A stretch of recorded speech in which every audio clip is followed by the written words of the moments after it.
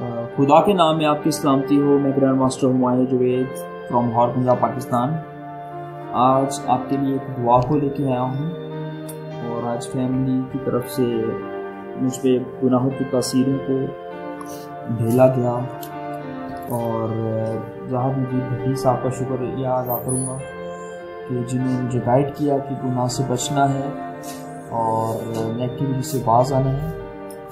और शायद इसीलिए शैतान मेरी फैमिली में समा गया और मुझसे गुनाह करवाना चाहता था और खुदावन से ही दुआ करने हम और ये लफाज को हम पढ़ेंगे खुदावन मुझे दुआ से करेंगे खुदावन, मेरे खुदा, तू जो मेरी पनागाह है, मेरी जान की हिफाजत कर, मेरी जान को गुनाह करने और मेरी ज़ात से गुनाह करवाने वालों से बचा।